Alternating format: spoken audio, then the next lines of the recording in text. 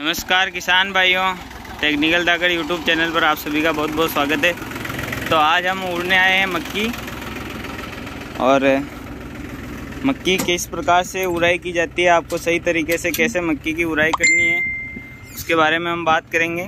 ये आप देख सकते हैं, यहाँ पर जो है हमारी मक्की जो है, बढ़िया अच्छा पड़ रहा है। तो यहाँ पर जो हमारी मक्की जो है वो उड़ी जा रही है। तो किस प्रकार से आपको मक्की को सही ढंग से उड़ना है, उसकी आज हम आपको जानकारी देंगे। तो यहाँ ढक्कन लगा देते हैं और देखिए आप सेटिंग आपको कुछ इस प्रकार से ऊपर इतनी जगह दोनों साइड में खाली होनी चाहिए। हम आगे की जो आगे की जो टांगड़े हैं, उसके अंदर उड़ रहे हैं और इसके साथ में हम डी खाद का भी प्रयोग करेंगे साथ में। इसकी सेटिंग आप देख सकते हैं। तो अभी हम आपको उड़ाई बताएँगे किस प्रकार से आपको उड़ना है और जो खाद और मक्की का जो रेशो है, वो आपको इस प्रकार से ध्यान में रखना है और जो गहराई है मक्की की, वो कितनी होनी चाहिए उसकी भी हम आपको अभी जानकारी देंगे। क्योंकि जो नमी है खेत की, उसकी, उसके हिसाब से आपको जो मक्की की है, वो गहराई जो आपको रखनी है। क्योंकि अगर खेत के अंदर आपके नमी, अगर पर्याप्त नमी है कि जितनी मक्की की उगने के लिए जितनी मक्की को चाहिए, उतनी नमी अगर खेत के अंदर है तभी आपको मक्की की उड़ाई करनी है।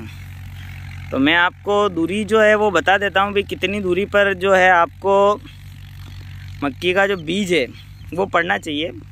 आप एक बार मशीन का एक फेरा फेर लें सीड ड्रिल का, उसके बाद में आप खेत में कुछ इस प्रकार से हाथ डालकर भी देख सकते हैं।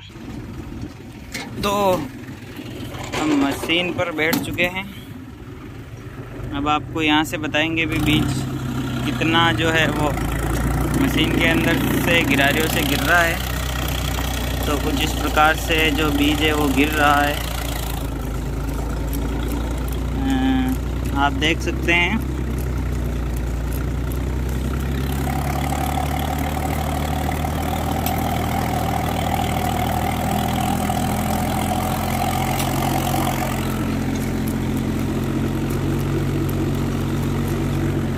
तो कुछ इस प्रकार से आपको मक्की की लगभग एक फीट की दूरी पौधे की होनी चाहिए और बीच में, दोनों पौधों के बीच में आप 16 इंची गैप भी रख सकते हैं और 18 और 20 इंची गैप भी रख सकते हैं। कुछ कुछ लोग चौबीस इंची गैप भी रखते हैं। हम यहाँ पर 16 इंची गैप दो पौधों के बीच का रख रहे हैं और दो पौधों की लाइन की दूरी, पौधों के बीच की दूरी एक फिट के आसपास होनी चाहिए। तो इन सब चीज़ों का आपको भी ध्यान रखना है। किसान भाई, मिलते हैं आपको किसी अलग तकनीक, किसी नई तकनीक के बारे में हम आपको अगली वीडियो में जानकारी देंगे। मिलते हैं आपको किसी अगले वीडियो में। तब तक के लिए जय श्री राम और सभी अपना ध्यान रखें और उड़ाई करते समय इन बातों का मक्की में आवश्यक रूप से ध्यान रखें।